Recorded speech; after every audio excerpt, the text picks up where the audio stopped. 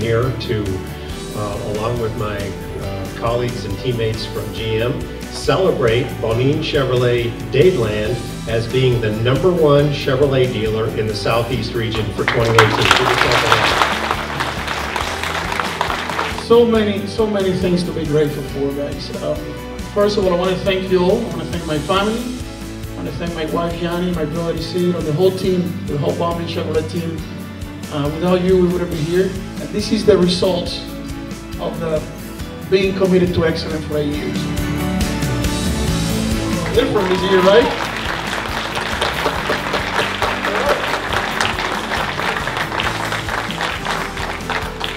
Well, it's, it's difficult because it is the best of the best in terms of retail sales volume among about 550 or so Chevrolet dealers in the Southeast.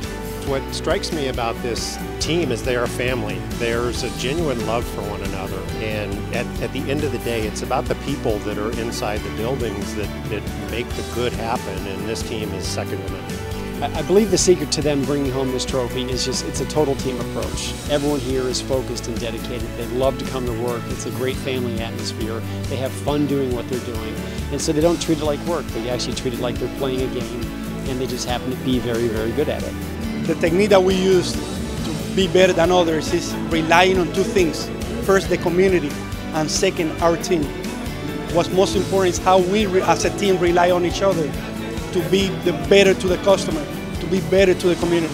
When you look at the, the common uh, denominator in all of this, it's the fact that they all want to do well together. Together, everyone achieves more. They're definitely a, a team that we would like to replicate all over the country. This is truly a family dealership. They treat you like family and it's just it's just a pleasure to come to work every day. It's such a pleasure and such a privilege to actually be here, considering the fact that every single time you see this award, you can brag about it to someone. Hey, I'm number one in the nation. You know, I work for the number one Chevy dealership. This place is so much fun to work here.